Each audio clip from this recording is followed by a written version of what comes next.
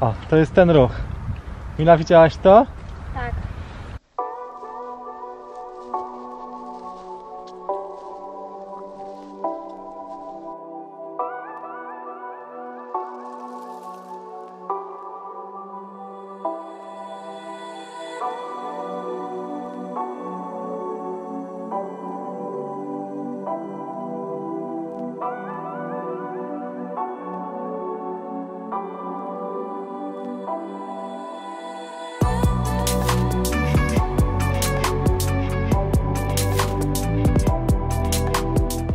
Witam Was bardzo serdecznie w tym dzisiejszym vlogu. Nagrywam go e, sprzętem, którego zwykle nie stosuję, dlatego że nie mam aż tak silnych rąk, a mianowicie Ronin S plus do tego mikrofon Rode i mam obiektyw 40, więc muszę 24, czwórkę, ale krop jest 1.6 i trzymam dosyć daleko to wszystko.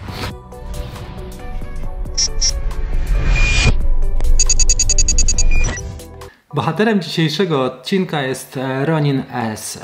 Pierwszy gimbal od DJI, który jest dedykowany jako gimbal jednoręczny do cięższych aparatów i lustrzanek o masie sięgającej prawie 4 kg.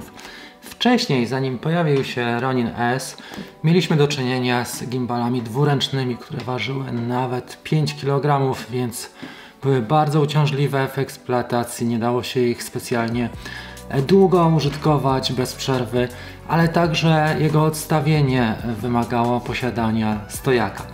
Tutaj pokażę Wam dzisiaj, jak wyglądają cechy użytkowe i jak wyglądają pierwsze kroki i moje opinie na temat Ronina S. Zatem zapraszam.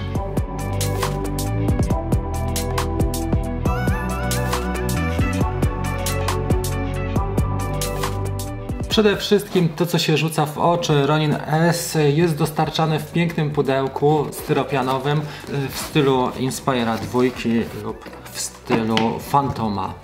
W środku walizki, jak zobaczycie, każdy element ma swoje miejsce dedykowane i doskonale pasuje do całości do walizki. Przenosi się tą walizkę bardzo wygodnie i faktycznie jest doskonale wyważona, do tego jest lekka z odpornego styropianu.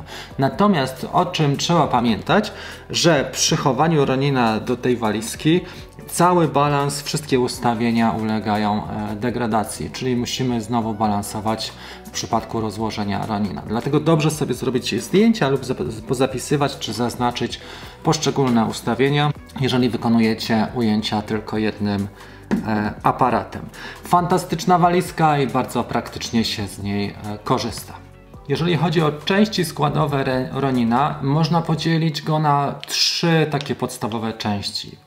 Część pierwsza to jest e, tripod, czyli statyw lub też podstawka.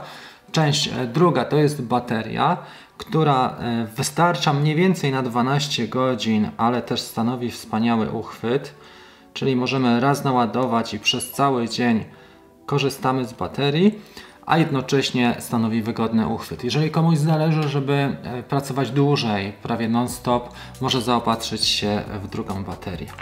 Statyw dokręcamy poprzez e, gwint bezpośrednio do baterii i on stanowi zarówno stojak, czyli właśnie nasz e, statyw, jak i przedłużenie e, uchwytu dla drugiej ręki, miejsce dla oparcia drugiej ręki. Kolejny element układanki to część główna gimbala Ronina S właśnie z silnikami i też z mocowaniem. Tutaj widzimy, że możemy zamocować go bezpośrednio do baterii i mamy od razu e, zamek, który umożliwia nam e, zablokowanie, blokadę tego gimbala. W tym momencie otrzymujemy całą konstrukcję spójną, jedyne co pozostaje to wyważenie. Ronin jest dość ciężki, e, szczególnie w rękach. Jeżeli jeszcze dodatkowo do niego dopniemy aparat, e, wiadomo, że robi się dosyć słuszna e, masa. Przenoszony w walizce stanowi dobrze wyważony ciężar, świetnie się go pakuje do powiedzmy samochodu, do bagażnika, dobrze się go przewozi i całkiem dobrze się z nim podróżuje. Jeżeli chodzi natomiast o przemieszczanie się z samym gimbalem, niestety to już jest bardziej kłopotliwe, między innymi dlatego, że jego wyważenie w ręku razem z lustrzanką jest trochę uciążliwe. E, no, dźwiganie, nie wiem, 4-6 kg przez dłuższy czas e, może być mega uciążliwe. I druga rzecz, o której trzeba pamiętać, nie mamy tutaj blokad silników takich transportowych, czyli Wszystkie te osie, one są luźne i faktycznie podczas przemieszczania się, powiedzmy w mieście, po mieście, pomiędzy ujęciami, one obijają się i nie stanowią komfortowego rozwiązania. Jeżeli weźmiemy pod uwagę ciężar e, samego Ronina, który waży około 2 kg, jest jednym z najcięższych e, ręcznych, jednoręcznych gimbali i plus do tego lustrzankę, może się okazać, że faktycznie będziemy szybko zmęczeni, ale jednak muszę Wam powiedzieć, że to jest też kwestia wprawy i pierwsze dni są naprawdę trudne z Roninem, natomiast później już człowiek nabiera wprawy i uczy się jak odpoczywać, w jaki sposób może sobie odciążyć tego Ronina, na przykład oprzeć o e, korpus swój, e, czy właśnie odkładać go po wykonaniu ujęć.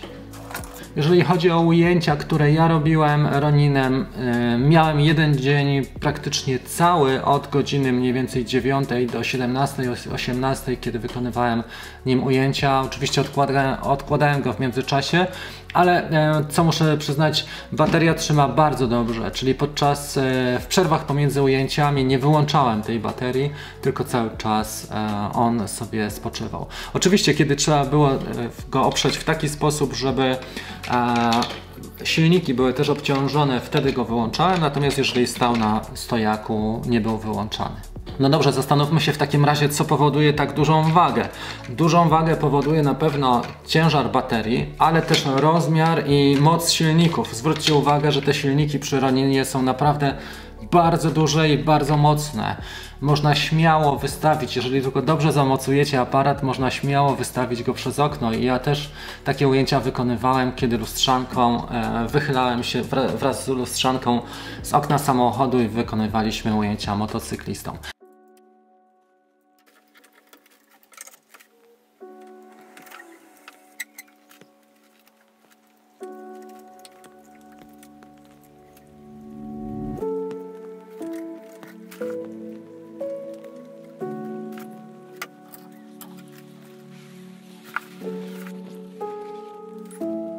To, co jest charakterystyczne i to, co zauważycie na pewno, ten silnik został przesunięty mocno w dół. Zwykle gimbale mają silniki tutaj na wprost, a tutaj widać, że to ramię jest praktycznie pod kątem 45 stopni.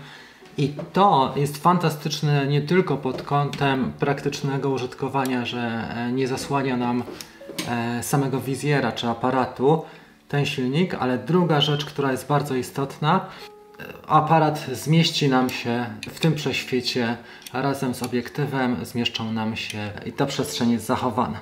Dzięki temu, że ramię jest przesunięte o 45 stopni i Ronin ma bardzo duże silniki, ma też ten e, właśnie gimbal dużą tolerancję, e, jeżeli chodzi o dodatkowy osprzęt, który jesteśmy w stanie podczas eksploatacji mm, podpiąć. Na przykład odchylenie ekranu podpięcie mikrofonu na górę, zmiana obiektywu, może nie drastyczna, ale zmiana obiektywu, który jest zbliżony masą. To wszystko nasz e, Ronin jest w stanie tolerować. To jest wielka zaleta tych dużych silników, nie tylko udźwig, ale też właśnie tolerancja podczas pracy. Nawet jeżeli nie wyważymy go idealnie, e, on sobie poradzi, ale pamiętajcie, że raczej dążymy do tego, żeby wyważony był jak najlepiej i żeby wyważyć go praktycznie idealnie. Z czasem wejdzie to w krew.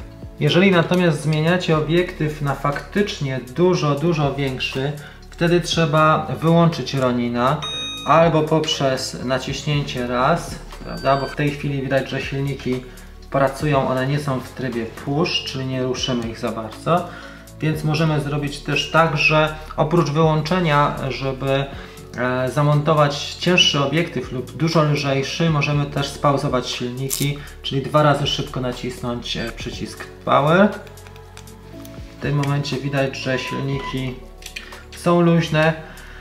Można wymienić obiektyw i wyważyć Ronina jeszcze raz. To, co jest charakterystyczne jeszcze dla tych silników i o czym e, powinniście pamiętać, E, one są duże i ciężkie, czyli nie tylko uniosą właśnie całą lustrzankę, nie tylko tolerancja, ale także są bardzo odporne na wiatr.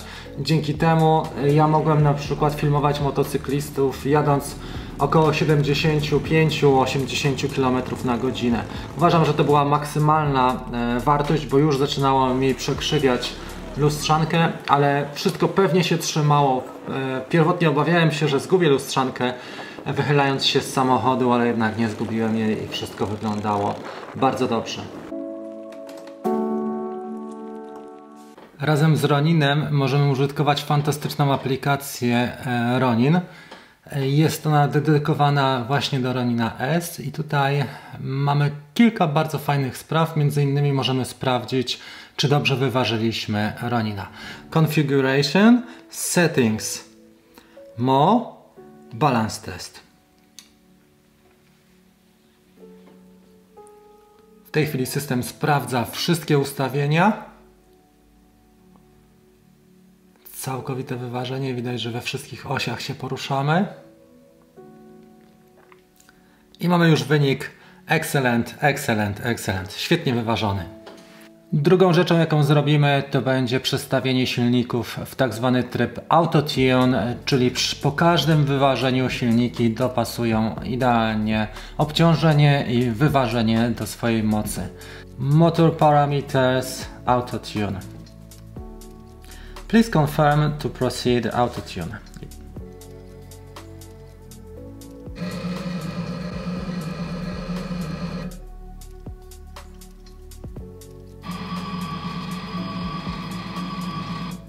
Każdy z silników ustawia swoją własną, swoje własne parametry. Dźwięk mamy jak e, z, z rur kanalizacyjnych. Jest ok. Sprawa bardzo istotna dla eksploatacji to jest e, smooth track i push pan. Smooth track to jest wtedy, kiedy gimbal porusza się wraz z naszymi e, ruchami. Możemy to też osiągnąć poprzez naciśnięcie klawisza M i przytrzymanie wtedy gimbal faktycznie podąża za naszymi ruchami. Druga sprawa, która jest bardzo istotna, to jest pushpan. Jeżeli mamy aktywny pushpan, możemy e, faktycznie w danym tutaj mamy pushpan aktywny, jeżeli chodzi o panoramę. Zobaczmy tilt i roll. Nie jest aktywny, już zrobimy sobie. Roll teraz jest aktywny, prawda? Te wszystkie osie można uaktywnić do ręcznego ustawienia. W ustawieniach Control Settings możemy ustawić Channel 1, Channel 2, Channel 3 i tak dalej. I tutaj ustawienia Channel 1 Tilt, Channel 2 Not Available i Channel 3 Roll. Dzięki temu możemy osiągnąć bardzo fajny efekt, efekt mianowicie Infinitive Roll. Poruszając e, joystickiem w tej chwili na boki możemy uzyskać efekt infinitive row.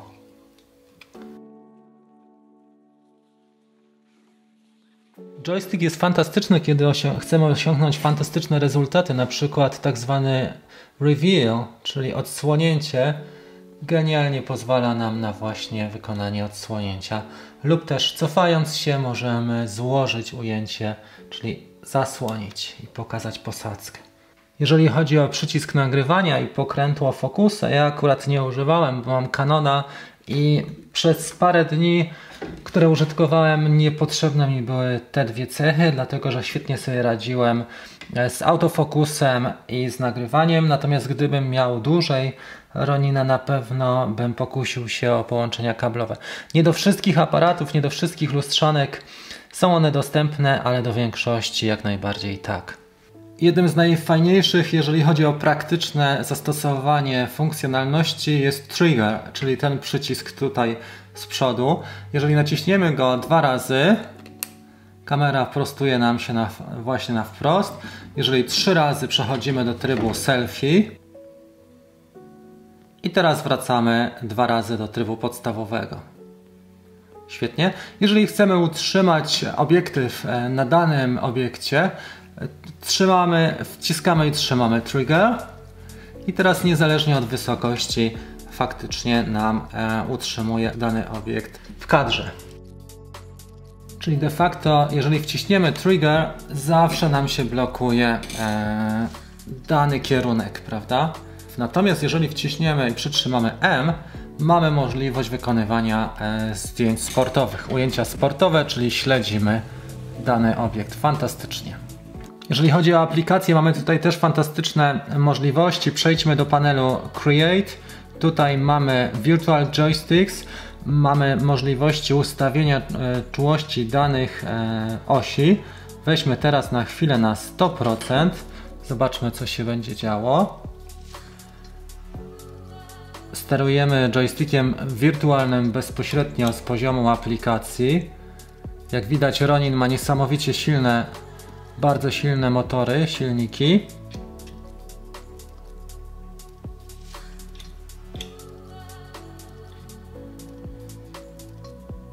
Dobrze, spróbujmy teraz jeszcze zrobić przechylenie, wychylenie od osi.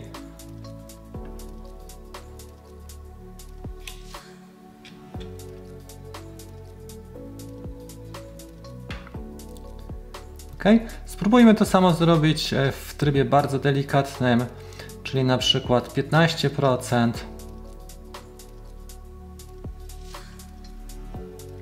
15-20% mniej więcej.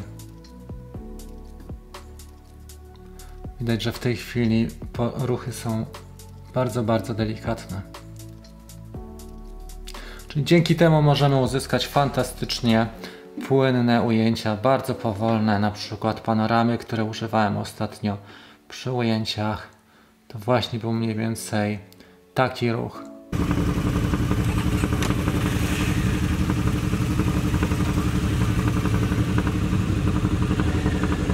To, co mamy przy Roninie e, też fantastyczne, to jest oczywiście aplikacja Create i tutaj mamy panoramy. Tutaj podpinamy lustrzankę kablem do Ronina i możemy określić typ sensora, na przykład full frame czy APS-C, tak jak mamy w tym przypadku, czy mikro 4 trzecie. Te trzy sensory są e, dostępne. Mamy też tutaj ogniskową, którą określamy i mamy też interwał, który chcemy wykorzystać do robienia zdjęć. I następnie konfiguruje nam system sam panoramę. To jest fantastyczna sprawa. Druga rzecz to jest e, timelapse. Tutaj też możemy sobie ustawić e, czas, a także interwał pomiędzy fotografiami i też frame rate już naszego timelapse. Czy to jest 24 czy 25 czyli e, czy 30 czy 60 ustawiamy nasz e, klatkarz. Kolejna sprawa, która jest genialna to e, track. Track to jest możliwość motion control, czyli ustawienia dowolnych punktów, które będą stopniowo przez kamerę obsługiwane, przez gimbala obsługiwane.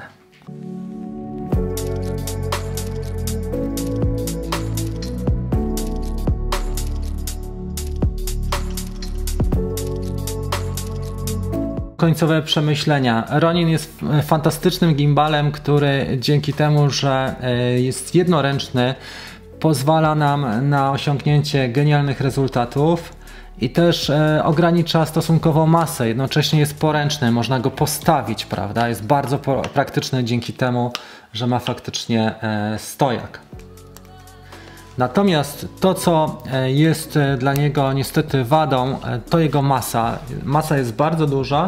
I druga rzecz, jeżeli wyłączycie silniki, to zwróćcie uwagę, że on nam się obija. On nie ma blokady silników, więc jeżeli chcemy go nosić, to będziemy sobie go nosić tak mniej więcej hi ho, hi ho. I to jest jego ból, bo zwróćcie uwagę, uderzają faktycznie te osie o siebie, te, te ramiona o siebie te wysięgniki, możemy też e, uszkodzić obiektyw przez to, więc na to trzeba zwracać uwagę. E, to jest druga rzecz, którą e, zauważyłem. I też jeżeli chcemy na przykład wykorzystać Ronina do takich zastosowań jak vlog, to tutaj niestety jedna rzecz jest niepokojąca. Ja mianowicie stosowałem go w takiej konfiguracji jak teraz, do vlogowania oczywiście z innym e, obiektywem o innej ogniskowej i taką sytuację miałem, że słychać jest na nagraniach, pomimo że miałem tutaj mikrofon kierunkowy, słychać jest jak e, pracują silniki. Tu chłopaki już się pakują do wyjazdu widzę i zbiera się cała Polska, każdy w inną stronę jedzie. E, w niektórych miejscach pada deszcz, także omijają te miejsca, w niektórych nie pada. Na plus na pewno aplikacja, na plus to, że jednoręczny e, gimbal jest w stanie przenieść ciężar mniej więcej około 3,5-3,6 kg genialna sprawa, można sobie go oprzeć. Fajny trigger i świetne sterowanie. Gdybym miał jeszcze połączenie kablowe bezpośrednie, pewnie bym wykorzystał go lepiej, ale i tak jestem zadowolony z tego, co miałem. Oczywiście trzeba się do niego przyzwyczaić. Nie wszyscy lubią e, gimbale, ale jeżeli masz szybką akcję tego typu, że trzeba się przemieszczać szybko pomiędzy e, jakimiś lokalizacjami albo śledzić dany obiekt e, bardzo szybko, to faktycznie gimbal jest niezastąpiony. Najlepiej byłoby mieć dwa albo trzy setupy tego typu, takie same, czyli ta sama lustrzanka z tym samym obiektywem na glidecamie, bez glidecamu, na przykład na monopodzie i trzecia na, e, na gimbalu. To byłoby idealne, de facto idealny setup, ale można sobie poradzić. To, co jest e, trochę kłopotliwe, to wyważanie. Trzeba o tym pamiętać, trzeba się tego nauczyć. Początkowo e, wyważanie było dla mnie ciężkie, ale później ogarnąłem to. Mniej więcej dwa dni zajęło mi nauczenie się wyważania. E, to, co jest też wspaniałe, to jest ta płytka, która jest na wzór Manfrotto. Faktycznie jest dosyć dużo sprzętu do niego. Mamy trochę kabli, trochę połączeń. Można podpiąć też inne zewnętrzne rzeczy, sterowanie czy samym samą ostrością e, czy innymi parametrami. Fantastyczne są też e, akcesoria montażowe, na przykład osprzęt do montażu na wózku, e, do ścigania, do robienia ujęć, e, właśnie niskich ujęć. E, najazdów, przejazdów. To jest genialne. Uważam, że Ronin jest dość fajnym mm, gimbalem. Oczywiście brak e, blokady silników i jego ciężar nieco ograniczają zastosowania, a jednak ma też swoje wielkie zalety. na pewno mocne silniki, o dużej tolerancji, na pewno obniżenie, na pewno trigger, funkcjonalność, joystick, e, sama aplikacja to są jego główne zalety. Myślę, że jeżeli ktoś używa lustrzanek z ciężkimi obiektywami, to Ronin może stanowić w tej chwili przy swojej cenie naprawdę e, fantastyczną propozycję. I to chyba wszystko z moich przemyśleń. Ja zrealizowałem kilka produkcji, jestem zadowolony z nich.